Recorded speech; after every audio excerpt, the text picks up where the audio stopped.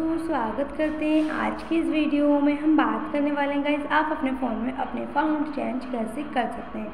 तो guys video में simple simple आसान आसान स्टेप में आपको उन्हें फॉलो करके आप अपने फ़ोन में अपने फाउंड चेंज कर सकते हैं। तो ये वीडियो की जानकारी के लिए वीडियो लास्ट तक ज़रूर देखना। आइए वीडियो शुरू करते हैं। तो वीडियो शुरू करने के लिए गाइज़ सबसे पहले हमें अपने फ़ोन की सेटिंग में जाना है।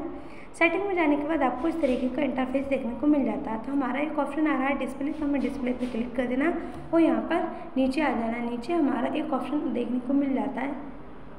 फाउंड साइज़ तो हमें उस पर क्लिक कर देना। क्लिक करने के बाद यहाँ पर आपको ऑप्शन देखने को मिल जाता है। तो गाइज़ यहाँ पर बिग से स्मॉल